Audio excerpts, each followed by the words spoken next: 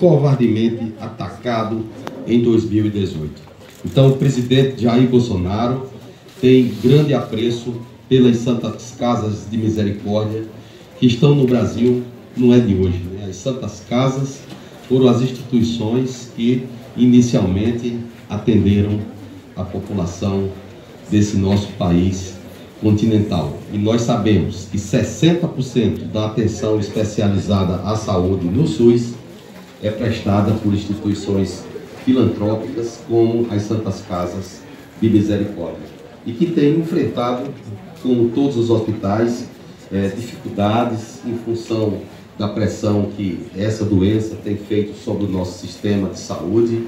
O governo federal tem investido fortemente na recuperação das Santas Casas. No ano de 2020, uma medida provisória alocou 2 bilhões de reais para ajudar as Santas Casas. E agora, em 2021, provavelmente na próxima semana, uma nova medida provisória, por decisão do presidente da República, será editada para ajudar as Santas Casas a ajudarem o Brasil, como sempre fizeram. Então, aqui em Rondonópolis, hoje, conheci mais de perto a sua boa gente, tenho aqui nessa cidade, nessa região do estado do Mato Grosso do Sul, um exemplo do que pode ser o Brasil do futuro. A força da economia, a força do seu agronegócio e o progresso liderado pela Universidade Federal do Mato Grosso.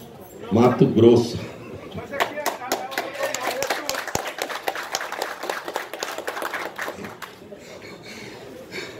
Mas o Mato Grosso e o Mato Grosso do Sul são dois grandes estados dessa nossa imensa nação. Bom, então temos aqui um modelo do que pode ser o Brasil do futuro. O Ministério da Saúde investiu aqui nesse, nessa radioterapia 10 milhões de reais. Então aqui, nesse serviço altamente especializado do câncer, nós vamos buscar é, a solução para atender um dos problemas que aflige a nossa população. O Brasil experimenta uma transição demográfica graças ao acerto das políticas sociais que têm sido adotadas nos últimos 30 anos. Então teremos cada vez mais pacientes portadores de doenças cardiovasculares, pacientes portadores do câncer e é fundamental preparar o sistema de saúde para enfrentar esses problemas. O tratamento do câncer, claro que não se baseia só na radioterapia, ele se baseia sobretudo no diagnóstico precoce para que evitemos que precise ser usado radioterapia, quimioterapia ou tratamentos cirúrgicos mutiladores.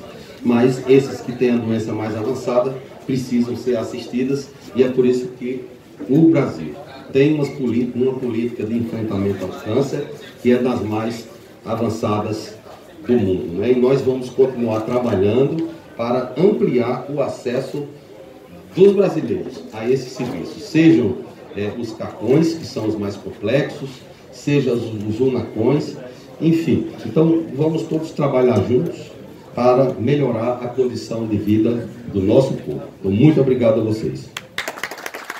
Senhoras e senhores, neste momento, o ministro em comitiva segue para o encerramento da placa e visita as instalações da radioterapia.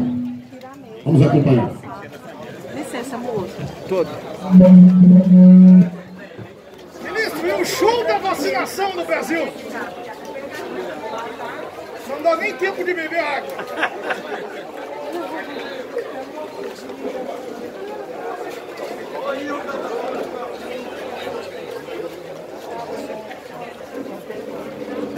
Show do milhão, né?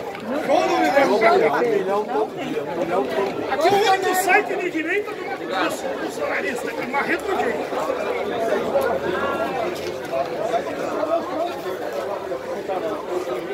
Ministro em comitiva segue então para o encerramento